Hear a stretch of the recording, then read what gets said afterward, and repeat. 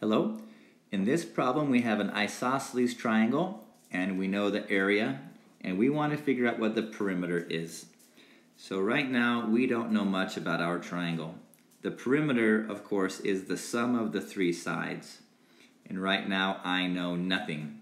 Only that it's isosceles, so these two sides are the same. And I also know that I have a height, which goes from the vertex perpendicular to the bottom side of 9. That's 9 centimeters long. so what I can do with the area, the area of this will help me figure out what the base length is. And I'm going to call this the base because it's perpendicular to the height. So the area will help me figure out what that base length is. So I know that area is 1 half of the base. We'll call that B for base. 1 half of the base times the height. okay, so with this formula, I can figure out what the base is. So I'm going to do um, half of 9. Half of 9 is 4.5. So 4.5 times b, I'm going to divide both sides by 4.5. And my calculator says 90 divided by 4.5 is 20. So I know I have one side length of this triangle, and that's 20 units long. So let me put that in here where I have it.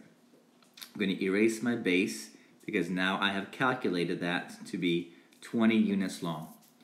So one side down, now two sides left to go. So I can add them all together and get my perimeter. so I don't know what these side lengths are, but I know they're both the same. So I'm going to call both of them x. That's a pretty sloppy X. What also I know is I have myself a right triangle right here. And whenever I have a right triangle, I can figure out the side length by using the Pythagorean theorem. And that's what I'm going to do. I'm going to, number one, chop this base in half. Because every height of an isosceles triangle bisects the base. so I basically have a right triangle with a height of 9 and a base of 10. Now I'm going to figure out what that hypotenuse is. So according to Pythagoras, 9 squared plus 10 squared should equal x squared, the hypotenuse. I'll come back in a second. So 9 squared is 81, 10 squared is 100, equals x squared. So adding these together, ooh, that's sloppy too. Let me erase that. That was um, a mistake. So 181 equals x squared. And now I'm going to take the square root of both sides. And my calculator over here says that the square root of 181 is 13.45.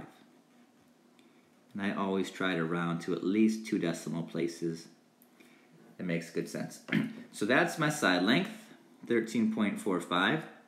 So indeed, I know that both of these are now 13.45, so I can erase both of these. I have a side length of 13.45 and 13.45. So now I can answer the question, what is the perimeter? Perimeter is the sum of the three sides of my triangle. 20 plus 14, sorry, 13.45 plus 13.45, right? Let's see, yep, 13.45. So that gives me a grand total of 46.9, and the units are centimeters. So that's the perimeter of this triangle. Thanks for watching.